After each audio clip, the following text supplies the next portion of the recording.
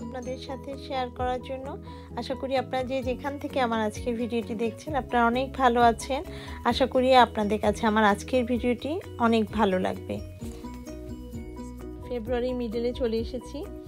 এ সময় আমরা যারা গার্ডেনিং করতে চাই, ঘরে ইনডোরে চারা তৈরি করার সময় কিন্তু হয়ে গেছে। কিছু কিছু চারা অবশ্যই সব গাছের চারা তৈরি করার সময় না হলেও কিছু কিছু গাছের জন্য একেবারে সময় প্রায় একেবারে শেষের দিকে।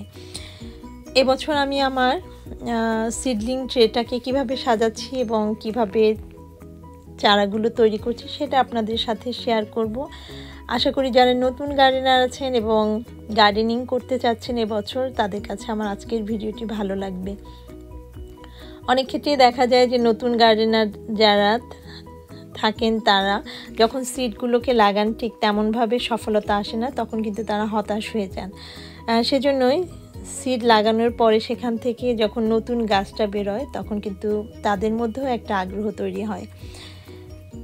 সে কারণেই কীভাবে আমরা খুব সহজেই যে কোনো সিট থেকেই চারা তৈরি করতে পারি, সেটা আপনাদের সাথে শেয়ার করব। আশা করি আপনাদের কাছে আমার আজকের ভিডিওটি ভালো লাগবে। এবং পয়সার সাশ্রয় করা যাবে এবং খুব সহজেই অল্প জায়গায় তেমন জায়গাও যেহেতু আমাদের এখানে নেই সেই জায়গারও একটা ব্যবস্থা হবে এবং সহজেই সেখান থেকে ছোট ছোট চারা বেরিয়ে আসবে। এটার জন্য আমি যে পদ্ধতিটি এবছর করছি সেটা হচ্ছে এগ বক্স ডিমের যে বক্সগুলো আমরা বাজার থেকে কিনে আনি, সেগুলোকে ফেলে না দিয়ে সেগুলোকে এভাবে আমি মাটি দিয়ে পূর্ণ করেছি। একটু চেপে চেপে দেওয়ার চেষ্টা করতে হবে। এর ফলে যখন এগুলোতে আমি চারা লাগাবো, দেখা যাবে যে আমি যে কোনো জায়গায় এগুলোকে রাখতে পারব এবং এটা যখন আমি নর্মাল ট্রেতে দিই, তখন আবার আমাকে প্লাস্টিক দিয়ে মুড়িয়ে রাখতে হয়। এই বক্সে যখন আমি চারাগুলো লাগাচ্ছি, তখন কিন্তু সেটা আমাকে করতে হবে না। কারণ এটার মধ্যে একটা কভারও রয়েছে, যেটা আমাকে যে পলিথিনটা ব্যবহার করি বা প্যাকেটটা ব্যবহার করি, সেটারও প্রয়োজন হয় না। এভাবে যখন আমি ফ্রেশ কম্পোজ দিচ্ছি, তখন চেষ্টা করতে হবে যেন এখানে এয়ার পকেট না থাকে। ডিমের যে জায়গাটুকু রয়েছে, সেটাকে একটা বা দুটো চারা তৈরির পরিমাণ জায়গা ভাবতে হবে। টিস্যু পদ্ধতিটিতে আমি কিছু সিড থেকে চারা তৈরির চেষ্টা করেছি। এখানে অনেক হেলদিভাবে শিকড় বেরিয়ে গেছে। এখান থেকে আমি সিডগুলোকে নিয়ে দুটো, তিনটে করে বিভিন্ন জায়গায় দিয়েছি। প্রত্যেকটার মধ্যে দুটো করে দেওয়ার চেষ্টা করেছি যেন মিস হলেও সেখান থেকে অন্য একটা চারা বেরিয়ে আসে। এখানে স্টিক দিয়ে, হাত দিয়ে না দিয়ে যেহেতু খুবই নরম এবং নতুন শিকড় বেরিয়েছে, তাহলে ছিঁড়ে যেতে পারে। এটাকে হালকাভাবে চেপে দিচ্ছি। এই স্টিক দিয়ে যদি একটু ভেতরে ঢুকিয়ে দেওয়া যায়, তবে কিন্তু সেখান থেকে খুব সহজেই চারা বেরিয়ে আসবে। একটু চেপে চেপে দিচ্ছি। এই ট্রেটাতে আমি ডিমের অর্ধেক অর্ধেক খোসা ব্যবহার করেছি। পুরো ডিমটাকে হাফ করে খোসাটাকে এখানে ব্যবহার করেছি এবং এর উপরে মাটি দিয়েছি।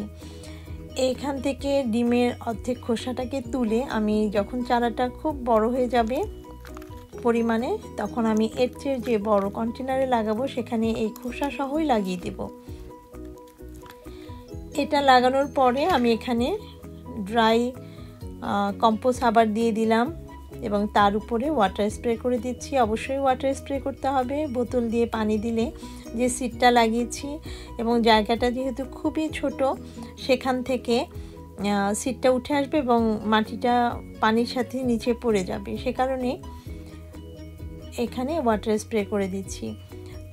এই ট্রেতে আমি যে সিটগুলো থেকে শিকড় বেরিয়ে আসেনি, সেই সেটগুলো, সিটগুলো নিয়েছি এবং একই পদ্ধতিতে চেপে চেপে দিচ্ছি, দুটো বা তিনটে করে দিয়েছি। খুব সহজেই কিন্তু এখান থেকে চারাগুলো বেরিয়ে আসবে। আমি হালকাভাবে, সেই একইভাবে একটু চেপে চেপে দিচ্ছি। আর যেহেতু ভেতরে আমি মাটিটাকে খুব চেপে চেপে লাগে ভরেছিলাম যাতে এয়ার পকেট বা বাতাস না থাকে কম্পোস্টার ভেতরে, তার ফলে খুব সহজেই কিন্তু সেখানে উত্তাপ তৈরি হবে। এরপরে এভাবে ঢেকে, যেহেতু প্রত্যেকটা বক্সের মধ্যেই কিন্তু একেবারে লক সিস্টেম থাকে, লাগানো যায়। এখানে যখন আমি এই খোসাগুলো সহ, চারাটা, সিটটাকে লাগিয়েছি, এভাবে তুলে যে কোনো কন্টেনারেই লাগিয়ে দেব। তেমনভাবে কোনো কষ্ট করতে হবে না। তবে যদি এগের অংশ, এগের খোসাও আপনারা না দেন, তাও কিন্তু আপনারা যে কোনো সিট এভাবে লাগাতে পারবেন। এভাবে লক করে দিলাম। এবং এগুলোকে যখন আমি দিয়েছি, তখন আমি কিন্তু ট্রেগুলোর নিচে দিয়ে কোনো ফুটো করিনি। এগুলোকে আমি যে কোনো জায়গায়, স্পেশালি যখন এভাবে চারা লাগাবেন, তখন অবশ্যই এগুলোকে বয়লার রুমে রেখে দেবেন এবং চেক করে দেখতে হবে যে সেখানে কম্পোস্টটা ড্রাই হয়ে যাচ্ছে কি না এবং যখন এগুলো থেকে চারা বেরিয়ে আসবে, তখন অবশ্যই সেগুলোকে বের করে নিয়ে আসতে হবে।